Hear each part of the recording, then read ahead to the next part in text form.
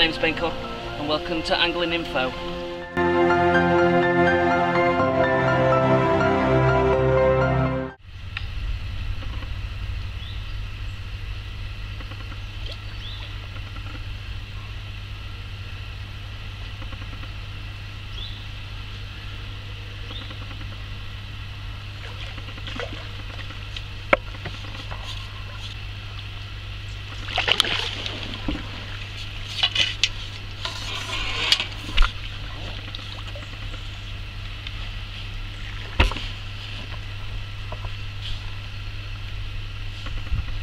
My name's Ben and welcome to Angling 4 U.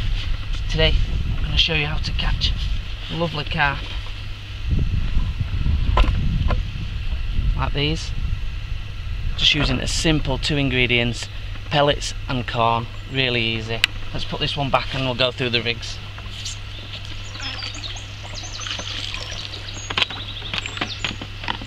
Right, simple simple bait. All we've done is if you if you watch my bait video and it explains how to uh, how to pre prepare it then basically all it is is a couple of tins of corn with the juice blended up and we've added that to some soaked micros and a little bit of water. It's all soaked up in together and that's what we're using to cup in as his feed.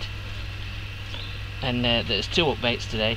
Uh, corn which is the one what we've just caught that on or basically some pumped expanders, six mils. I've just got them soaked. So I'll go through to the rig. Really easy.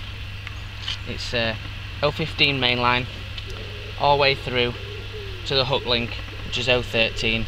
It's all Reflo Power uh, line by uh, Preston Innovations, and then on there is a 14s hook, uh, PR27 hook, uh, and then we've got a couple of spread shot down the line. We've got a couple there of number 10s and three number 9s down there to cock the float. Cock the, for the float that we've got today, a Preston Innovations PR float. Um, it's nice thick tip bristle and a wire stem, really, really stable and strong. Um, and basically that's it. Um, we're fishing that straight through um, to a, a 12 Dura Hollow, which is really, you know, it can handle things well into double figures, uh, but yeah, it's still light. Um, and on, on this, I've um, I've got a, a roller puller bush. Um, if, if you haven't got that, obviously, just get yourself a puller bung.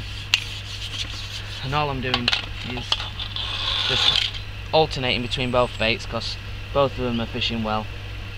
And uh, simply the corn, all we're doing with the corn is just hooking it right right through get a new one piece actually that's a bit rubbish. Get yourself a nice piece and just hook it just through the corner. So you don't want it through the middle it just wants to be through the corner so they're easy for fish to grab. And then every two or three casts unless you've got a lot of fish in your peg then every cast you just want a little pellet pot size worth of corn in uh, your corn blend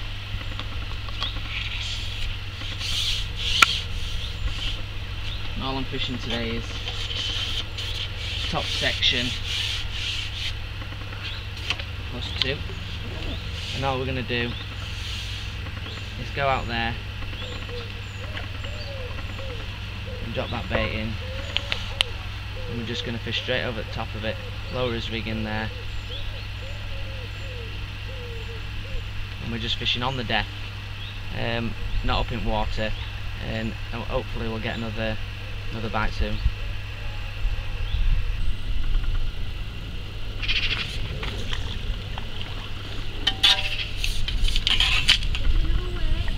Obviously you can see it catches um, all types of, of fish. Um, as you can see it's, it's, a, it's a nice stamp, a skimmer there. It's um, it's a great bait to, to fish with. It's great in summer months, great in cold months. Just give it a try, tight lines.